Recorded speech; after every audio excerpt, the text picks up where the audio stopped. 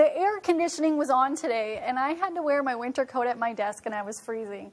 And I just want you to know that I'm still very upset. And how about under the lights? Is this a little more manageable? Yeah, I feel like I'm finally toasting up here. Could get some marshmallows going. See, the key for me is I don't find the air conditioning to be cold because I have a lot of layers of muscle. So that insulates me from the from the cold temperatures. So I, I'm actually quite comfortable. It's like room temperature for me right now. But temperatures outside very cold. That cold stretch will continue into tomorrow morning. But then we're going to warm up once again as we head to next week. Let's take a look at the radar and satellite.